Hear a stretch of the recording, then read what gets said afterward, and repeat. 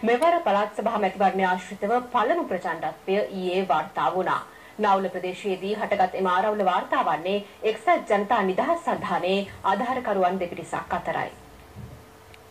එක්සත් ජනතා නිදහස් සන්ධානයේ මධ්‍යම පළාත් සභා හිටපු මන්ත්‍රී ප්‍රමිත බණ්ඩාර තෙන්නකෝන් මහතා හා නාවුල ප්‍රාදේශීය සභාවේ සභාපති තිලක් බණ්ඩාර මහතාගේ ආධාරකරුවන් පිරිසක් අතර මෙම ආරවුල හටගෙන තිබෙනවා. ප්‍රමිත බණ්ඩාර තෙන්නකෝන් මහතා පැවසුවේ නාවුල ප්‍රදේශයේ නිවසක ඊයේ පැවති රැස්වීමකින් අනතුරුව ඉන් පිට යාමට සූදානම් වූ අවස්ථාවේ රාත්‍රී 7:30ට පමණ මෙම ආරවුල සිදු වූ බවයි. එහිදී නාවුල ප්‍රාදේශීය සභාවේ සභාපති තිලක් බණ්ඩාර මහතාගේ ආධාරකරුවන් දස දෙනෙකු පමණ කැබ් රථයකින් පැමිණ තමන්ට බැනබෙදී තර්ජන එල්ල කළ බව ඔහු ප්‍රකාශ කළා. ප්‍රමිත බණ්ඩාර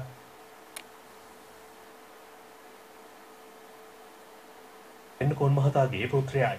මට පරුෂ වචනෙන් තර්ජනාත්මකව මර්මීය තර්ජන එල්ල කරමින් උඹ වද යවන්නේ නැහැ උඹට ලග්ගලට එන්න තහනම් කියන ඒවා තමයි මට දිගින් දිගටම කිව්වේ. වෙරි මරගාතේ ගඳ ගගා ගිය මේ එක පුද්ගලයා බීමත්ව නොසිටින බවට විශ්මිත ජනක වෛද්‍ය වාර්තාවක් පොලිසියට ඉදිරිපත් කරලා තිබුණා. මගේ අප්පච්චි ජනක බණ්ඩාර තෙන්නකෝන් කැබිනට් ඇමතිවරයා අපිට මෙහෙම අසාධාරණ වෙනවා නම් මේ රටේ අනිත් මිනිස්සු ගැන කතා කරලා වැඩක් නැහැ කියන හැඟීම මට හිතට ආවා. සිද්ධිය සම්බන්ධයෙන් අප නවුල ප්‍රාදේශීය සභාවේ සභාපති තිලක් බණ්ඩාර මහතාගෙන්ද විමසීමක් කළා. මීට 100කට විතර එහා ගෑක් ගාව නවත්තනකොට ප්‍රමිත මන්ත්‍රීතුමා ගිහිල්ලා එතන රියදුරු ආසනේ හිටපු පුජ්‍යලයට පිස්තෝලයක් පෙන්නලා කම්බුරට දෙයක් ගහලා තියෙනවා ඊට පස්සේ තමයි මේ සිද්ධිය නිර්මාණය වෙලා තියෙන්නේ. මම ඇමතුමගේ පුතෙක් කියලා තමයි මේ මේ සිද්ධිය සිද්ධ කරලා තියෙන්නේ. මම පිස්තෝල අරගෙන දේශපාලනය කළා නැහැ. අපේ අප්පච්චි කැබිනට් ඇමතිවරයෙක් වුණාට අපිට අප්පච්චිගේ බලතරාගෙන වැඩ කරන්න කවදාක්වත් අපිට ඉඩ දීලා නැහැ. සිද්ධියෙන් වාහන තුනකට සුළු අලාභහානි සිදු වුණා. සිද්ධිය සම්බන්ධයෙන් දෙපාර්ශ්වයෙන්ම පොලිසියට පැමිණිලි ලැබී ඇති අතර පොලිස් අත්අඩංගුවටගෙන පසුව අපමත මුදාහැරුණි අදාළ වාහන තුනේ එරියතුරන්.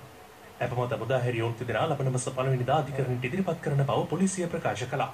මේ අතර සිද්ධිය වාර්තා කිරීම සඳහා පැමිණි මාධ්‍යවේදියෙකුට නවුල ප්‍රාදේශීය සභාවේ සභාපති තිලක් බණ්ඩාර මහතාගේ ආධාරකරුවන් පිරිසක් පහර දී ඇති බව වාර්තා වන අතර ඔහු නවුල රෝහලට ඇතුළත් කිරීමෙන් පසු මාතලේ මහරෝහලට මාරු කර යවා තිබෙනවා.